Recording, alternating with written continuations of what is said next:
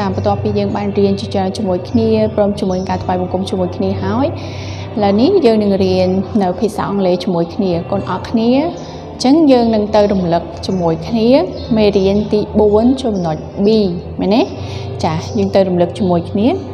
អញ្ចឹងនៅក្នុងចំណុច B គឺមានស្ដាប់ផងមើលផងនិងចង្អុលផងអញ្ចឹងឥឡូវនេះអ្នកគ្រូចង្អុលកូនអរគ្នាជាអ្នកអានបានទេតោះចាប់ផ្ដើមតោះ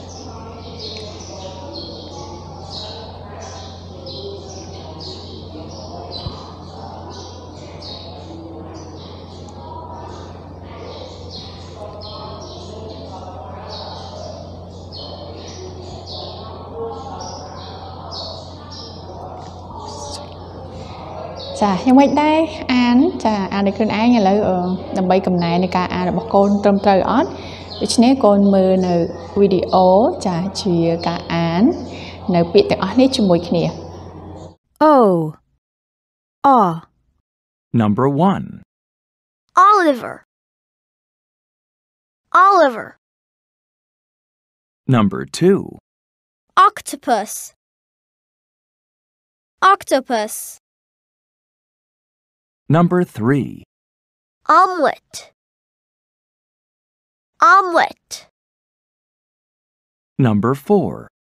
Ostrich. Ostrich. Oliver. Octopus. Omelette. Ostrich. The O chant.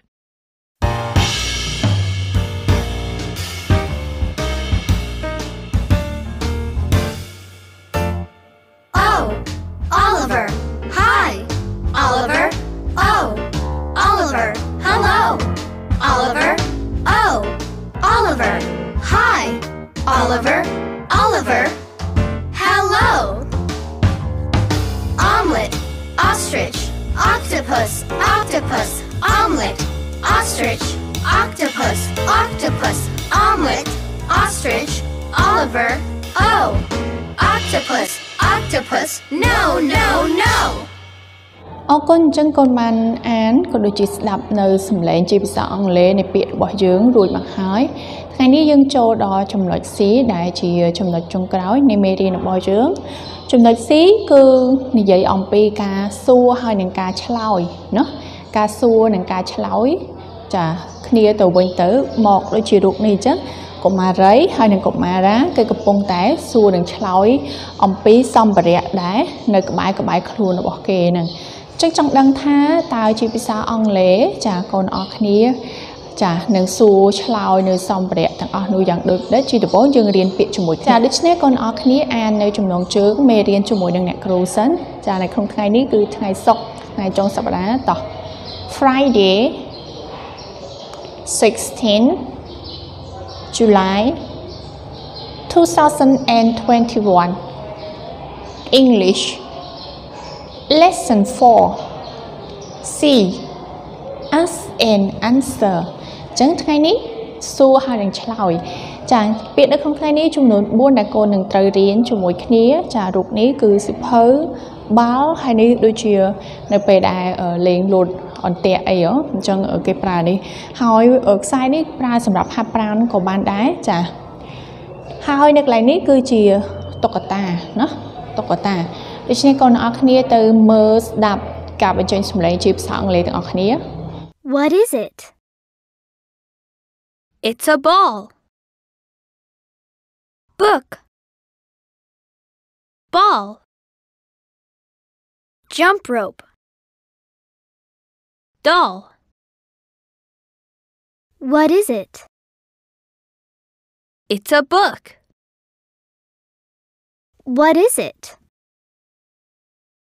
It's a ball. What is it? It's a jump rope. What is it? It's a doll. What is it? It's a ball. Book. Ball. Jump rope. Doll. What is it? It's a book. What is it? It's a ball. What is it? It's a jump rope. What is it? It's a doll. យ៉ាងណាដែរបន្ទាប់ពីបានស្ដាប់ពាក្យទាំងអស់នេះជាភាសាអង់គ្លេសហើយចាឥឡូវនេះស្ដាប់ម្ដងទៀតព្រមជាមួយនឹងការថាតាមនៅពាក្យជាភាសាអង់គ្លេសទាំងអស់គ្នា What is it? It's a ball. Book. Ball. Jump rope. Doll. What is it? It's a book. What is it? It's a ball. What is it? It's a jump rope. What is it?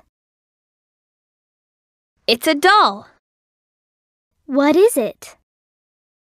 It's a ball. Book.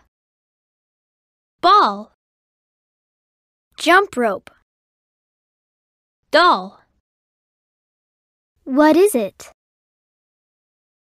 It's a book. What is it? It's a ball. What is it? It's a jump rope. What is it? It's a doll.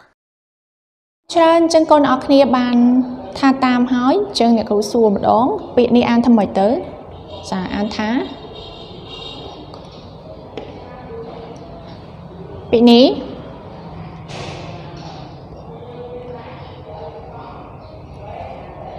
ទីនេះចុងក្រោយអរគុណច្រើនចាសូមអានម្ដងទៀតចាលឿនជាងមុន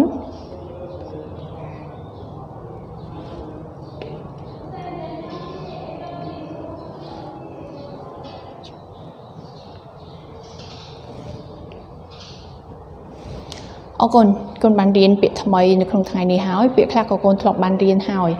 ចាឥឡូវយើងចូលមកដល់នៅទីនេះការសួរអំពីសម្ភារៈទាំងអស់នេះសួរថាឧទាហរណ៍ថាយើងចង់ដឹងថាអឺវត្ថុនោះគឺជាអ្វីអញ្ចឹងយើងសួរថាម៉េចទៅនោះគឺជាអ្វីណាឧទាហរណ៍ថានៅទីនេះចាឧទាហរណ៍ថាអ្នកគ្រូអត់ដឹងទេអញ្ចឹងអ្នកគ្រូអត់ស្គាល់វត្ថុមួយហ្នឹងទេអញ្ចឹងអ្នកគ្រូពិតជាសួរថាម៉េចទៅតើ នេះគឺជាអ្វីឬមួយក៏នៅឆ្ងាយពីយើងយើងឆ្លើយថាតើនោះគឺជាអ្វីជាភាសាអង់គ្លេសដូចគ្នាហើយអញ្ចឹងម្នាក់ទៀតអ្នកឆ្លើយថាម៉េចនេះជាតុក្កតាឬក៏វាជាតុក្កតាអីចឹងទៅអញ្ចឹងដូចគ្នាឥឡូវនេះយើងទៅស្ដាប់ការសន្ទនាជាភាសាអង់គ្លេសរវាងកុមារាចារវាងកុមារីនិងកុមារាទាំងពីរដោយយកចិត្តទុកដាក់កូនស្ដាប់សិន What is it? It's a ball. Book. Ball. Jump rope. Doll. What is it? It's a book. What is it? It's a ball. What is it? It's a jump rope. What is it? It's a doll. What is it? It's a ball. Book. Ball. Jump rope. Doll. What is it? It's a book. What is it? It's a ball. What is it? It's a jump rope. What is it? It's a doll. បន្ទាប់ពីកូនបានស្ដាប់ហើយអញ្ចឹងអឺកូនដឹងហើយណាចាកូនស្ដាប់ហើយអញ្ចឹងអឺមានសំណួរចំនួនប្រមាណទៅ គឺចំនួន 4មែនមែនអត់ចាមានសំណួរចំនួន4ដោយសារតែពាក្យរបស់យើងមានចំនួន4អញ្ចឹងកុមារីកុមារាគាត់បានសួរគ្នាទៅវិញទៅមកអំពីពាក្យទាំងអស់នោះឥឡូវនេះអ្នកគ្រូចង់ឲ្យកូនអរគ្នាស្ដាប់និងថាតាមជាភាសាអង់គ្លេសទាំងអស់គ្នានៅការសួរនិងឆ្លើយរវាងកុមារទាំងពីរ What is it? It's a ball. Book. Ball. Jump rope. Doll. What is it? It's a book. What is it? It's a ball. What is it? It's a jump rope. What is it? It's a doll. What is it? It's a ball. Book. Ball. Jump rope. Doll. What is it? It's a book. What is it? It's a ball. What is it? It's a jump rope. What is it? It's a doll. អរគុណច្រើនកូនបានអឺវឹកហាត់នៅការសួរឆ្លើយដោយខ្លួនឯងរួចហើយឥឡូវនេះចាអ្នកគ្រូចង្អុលដូច្នេះសូមកូនអឺជាសំណួរហើយក៏ដូចជាចម្លើយឆ្លើយដោយខ្លួនឯងតោះនៅទីនេះឧទាហរណ៍ថាអ្នកគ្រូចង់ដឹងថានេះគឺជាអ្វីភាសាអង់គ្លេសថាម៉េចទៅ What is it What is it ហើយចេះឆ្លើយថាម៉េចទៅ ពេលតែសួរហើយធ្វើការឆ្លើយមែនណាឆ្លើយថា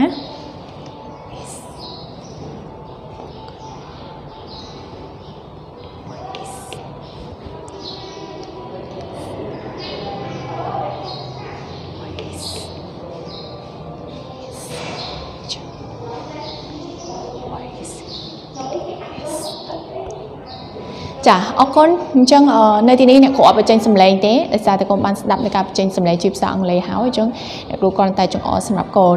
ឧទាហរណ៍ថាចង់ដឹងថានេះជាអ្វីយើងសួរយើងសួរឲ្យបាទយើងឆ្លើយមែនអត់ថានេះគឺជាអ្វីអញ្ចឹងវាគឺជាសភៅនេះជាអ្វីនេះគឺជាបាល់វាគឺជាបាល់នេះជាអ្វីចាជាខ្សែគេលោតអីចឹងទៅជាអ្វីជាវាជាចាតុក្កតាអញ្ចឹងចាអរគុណច្រើនចំពោះការវឹកហាត់ នៅការថាតាមនៅការសួរនិងឆ្លើយរវាងកុមារទាំងពីរដូច្នេះនៅទីនេះមេរៀនរបស់យើងកូនអរគ្នាចម្លងចូលទៅក្នុងសភៅជាពាក្យអ្នកគ្រូអត់បកជាភាសាខ្មែរសម្រាប់កូនអរគ្នាទេឥឡូវនេះកូនគ្រាន់តែសរសេរវាចម្លងចូលទៅក្នុងសភៅចាមានពាក្យទាំងអស់នេះចា4ពាក្យហើយនឹងការសួរនិងឆ្លើយណាសួរហើយនឹងឆ្លើយអញ្ចឹងសញ្ញាសួរមានន័យថាសួរហើយនេះចុចនេះចុចនៅទីនេះមានន័យថាអឺ ស្មើនឹងសញ្ញាខណ្ឌភាសាខ្មែររបស់យើងអញ្ចឹងនៅពេលដែលចម្លងនីមួយៗយកចិត្តទុកដាក់អ្នកគ្រូមានដាក់អីគេខ្លះអញ្ចឹងកូនដាក់ដែរសំបីតែបន្តនៅទីនេះណាក៏ត្រូវដាក់ដែរពីព្រោះវាសុទ្ធតែមានន័យជាភាសាអង់គ្លេសវាមានន័យបើសិនជាកូនអឺអត់បានដាក់អញ្ចឹងន័យរបស់វាក៏ខុសទៅតាមនឹងដែរដូច្នេះនៅពេលដែលចម្លងយកចិត្តទុកដាក់ក្នុងការសរសេរចាអរគុណអ្នកគ្រូមានកិច្ចការផ្ទះសម្រាប់កូនអរគ្នាអនុវត្តគឺសួរនិងឆ្លើយនៅរូបភាពទាំងអស់នេះ សួរមួយឆ្លើយមួយសួរមួយឆ្លើយមួយសួរមួយឆ្លើយមួយសួរមួយឆ្លើយមួយដោយខ្លួនឯងណាសួរនិងឆ្លើយដោយខ្លួនឯងហើយផ្ញើសម្លេងមកកាន់អ្នកគ្រូផងដែរសំណួរខ្វីនៅទីនេះសំណួរខ្វីតើមេរៀនថ្ងៃនេះមានតួអង្គប៉ុន្មានអ្នកចាតើមេរៀនថ្ងៃនេះមានតួអង្គប៉ុន្មានអ្នក ចាសូមឆ្លើយមកកាន់អ្នកគ្រូផងដែរអរគុណច្រើនចឹងភាសាអង់គ្លេសរបស់យើងបានបញ្ចប់ហើយកូនអរគ្នាយើងនឹងជួបគ្នានៅក្នុងមេរៀនបន្តទៀតនៅសប្តាហ៍ក្រោយជូនពរកូនអរគ្នារីករាយនៅក្នុងអឺថ្ងៃចុងសប្តាហ៍ចាទាំងការសម្រាប់និងកំសាន្តជាមួយក្រុមគ្រួសារដោយរីករាយនិងមានសុវត្ថិភាពផងដែរសូមព្រះវិសុបានប្រទានពរដល់កូនអរគ្នាជម្រាបលា